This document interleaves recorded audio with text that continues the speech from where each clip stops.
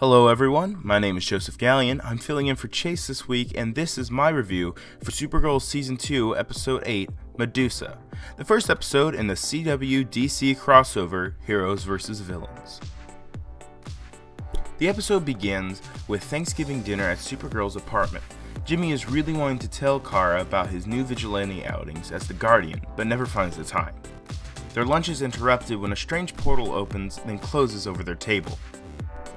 After our heroes leave to the DEO, we learn of the Medusa virus that was stolen from the Fortress of Solitude. This virus is incredibly deadly to all aliens except for Kryptonians.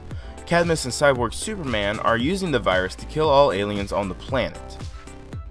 At the end of the episode, Lena Luthor betrays her mother and Cyborg Superman, replacing the virus and letting all the aliens live. They use the virus to kill all the white Martian cells in Martian Manhunter's body, and everyone finally goes home. But at Kara's home, Cisco and the Flash are waiting for her, and they tell her that they need her help with an alien invasion back on their Earth. Honestly, I really did enjoy this episode, but it completely fails as a crossover, being reduced to the cameo treatment. There are a few moments that were a bit odd and hokey, but overall, this was actually a really good episode. 7 out of 10.